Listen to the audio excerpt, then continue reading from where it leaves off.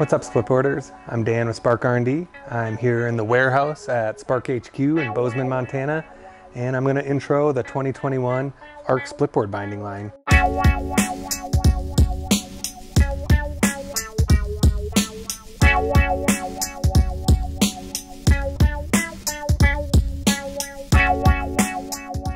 The ARC comes in both men's and women's sizes and colorways. It's kind of our lightweight, surfier model of splitboard binding. And we make almost every piece of this binding right here at our shop in Montana, save for the buckles and a couple of screws. The ARC splitboard bindings feature our T1 binding tech. The snap ramp locks you into both tour mode and ride mode and makes transitioning from tour to ride mode and ride to tour mode really simple. For tour mode, the pins are going to slide into the offset touring brackets found on your splitboard and the snap ramp locks you down and locks you in place. And then for ride mode, you're gonna slide the binding over your pucks and that same snap ramp is gonna lock you in place for the ride down. When we say T1 Tech, we're also referring to the climbing wire.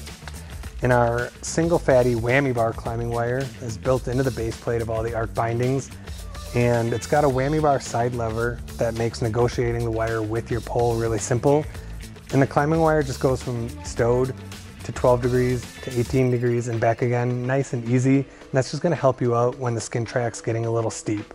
It's a great piece of tech and it's found on all of our T1 bindings. As I mentioned earlier, the ARC is our more lightweight, surfy model.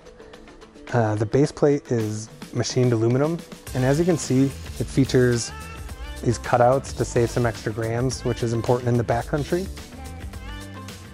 The rip and flip high back on the ARC is a medium flex high back, so it's got some nice torsional flexibility, but it still maintains plenty of strength toe to heel, so you're gonna have the support you need on the ride down, but it's a little surfier, a little turnier. Uh, the rip and flip high back has some awesome just splitboard specific tech. Mainly the forward lean adjuster is tool free, so you don't have to mess around with the tool in the backcountry. Just give it a turn, and that's gonna allow you to adjust the amount of forward lean you have for ride mode. And then when it's time for tour mode, that same flad just pops up into the high back, folds up there, and that allows the high back to rotate back to negative 13 degrees.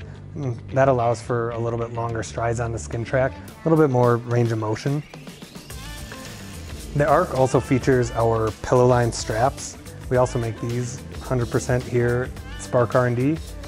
Our pillow line straps are one piece injection molded plastic, so they're waterproof, they're super durable, they're really comfortable. And the ARC in particular, I love this strap. It's a nice surfy kind of feel. It's a little smaller footprint, has this nice flex window here. And then the pillows that are on the inside of the strap provide plenty of comfort. And then the ribs that are on the outside give you the structure that you need. And that's on both the toe and the ankle strap and just a lightweight, great splitboard specific strap.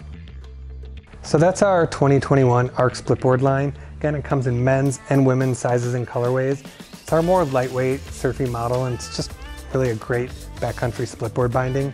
You can find out more information on the ARC at sparkrandd.com. Thanks for watching. We'll see you on the skin track.